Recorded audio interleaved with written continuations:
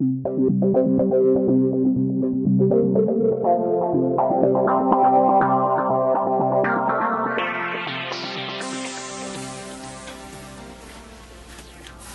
think evolutionists are um, um, don't realize how broad the theory of evolution really is.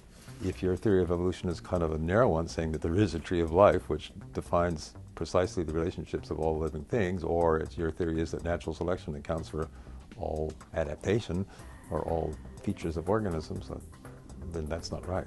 We know most of the mechanisms of which natural selection is an important but not the only one. I think that where where the rubber meets the meets the road in evolution is in molecular biology and understanding genes and how they work and how they've changed in evolution and what kinds of forces impinge upon genes. And at some point I became more interested in the genome evolution as a whole, the evolution of the entire genomes. That gave rise to what was called the selfish DNA hypothesis, which was uh, much debated and is still being debated today.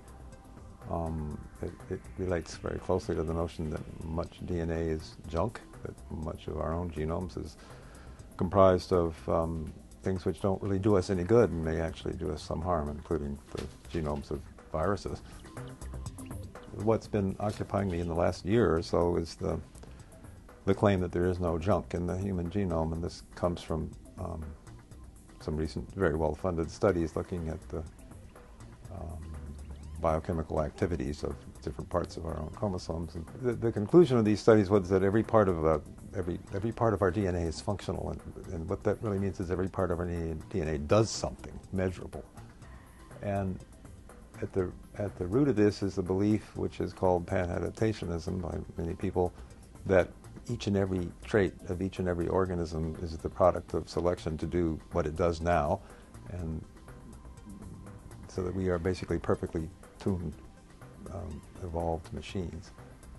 That's one view. The other view is stuff happens, and you know we're just good enough to survive, and the vast amount of the complexity um, within ourselves and in our behaviors are um, not the product of natural selection, but of other um, sort of accidental processes.